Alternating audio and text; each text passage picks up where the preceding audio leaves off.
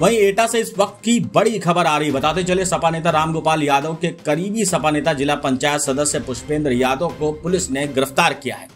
आपको बता दें, जिला पंचायत सदस्य पुष्पेंद्र यादव के ऊपर अलीगंज थाने में दर्ज एफआईआर में फरार चल रहे थे। पुलिस ने पच्चीस हज़ार का इनाम घोषित किया था। पुष्पेंद्र यादव के पिता, पूर्व जिला पंचायत अध्यक्ष जुगेंद्र सिंह यादव, गैंगस्टर एक्ट में लगभग 16 महीने से एटा जेल में बंद है।